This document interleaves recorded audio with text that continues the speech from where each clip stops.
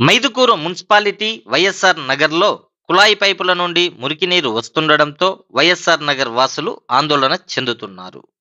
గత మూడు నెలలుగా మురికినీటి సమస్యను ఎదుర్కొంటున్నామని సమస్యను పరిష్కరించమని అధికారుల చుట్టూ తిరిగినా కూడా ప్రయోజనం లేదని వాపోతున్నారు.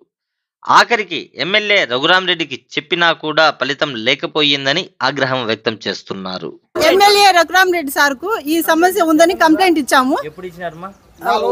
ఫోర్ డేస్ అయిందండి. సార్ ఆఫీస్కు ఫోన్ చేసి వెంటనే రియాక్షన్ తీసుకోండి అని చెప్పాడు కమిషనర్కు ఆ సార్ కూడా వెంటనే మనుషులు పంపించి చేపిస్తామన్నారు. ఇంతవరకు ఎవరు రాలేదు. ఫోర్ డేస్ అయింది. భరత్ రెడ్డి వైస్ చైర్మన్ కూడా చెప్పినాం ఆ వైస్ చైర్మన్ భరత్ రెడ్డి గారికి కూడా ఈ సమస్య మీద మాట్లాడాము. ఆయన కూడా ఫోన్ చేసి చెప్పినాను మనుషులు వచ్చి చేస్తారు అన్నారు కానీ ఇంతవరకు పట్టించుకోలేదు. ఎమ్మెల్యే గారి దృష్టికి పోయిందంటే నాకైతే విషయం తెలియదు కమిషనర్ గారి దగ్గరికి పోయిన విషయం నాకైతే తెలియదు నాకు ఇప్పుడు ఒక టెన్ మినిట్స్ అంతే నేను రోడ్డు మీద పోతుండా ప్రజలు నా దగ్గరికి వచ్చినారు. నీటి సమస్య అయితే ఏం లేదు. డ్రైనేజ్ వాటర్ మాత్రం కలుస్తుందని చెప్పినారు. అయిటటి నీళ్ళు ఎవరైనా తాగుతారా? ఆ, మురికి నీళ్ళు కలిపి ఎవరే కానీ పట్టించుకునే నాయకులు లేరు. ఎమ్మెల్యే ఇంటి పక్కలోనే ఈ రకంగా నీళ్ళు వచ్చాయంటే ఇంకా పట్టించుకునే వాళ్ళు ఎవరున్నారు సార్ నీళ్ళు రాకపోతే ఎట్లా సార్? మాకు ఇబ్బందిగా ఉంది సార్. నీళ్ళు వాటర్ అసలు సరిత రావడం లేదు.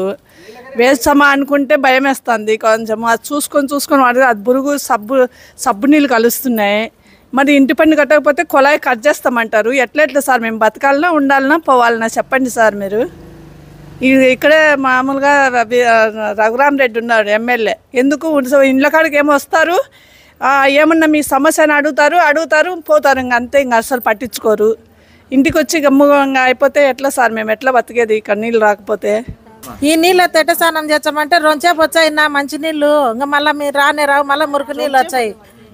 ఈ నీళ్ళతో ఇన్ని రోజులు అట్టే జరుపుతున్నాం. మాకు మంచి నీళ్ళు ట్యాంక్ అయినా పంపించరు. ఈ కా- మోటార్ సరైన చేర్చరు ఈ సమస్య మాకు తీర్చండి. నీళ్ళు మంచి నీళ్ళు మాకు కావాలా?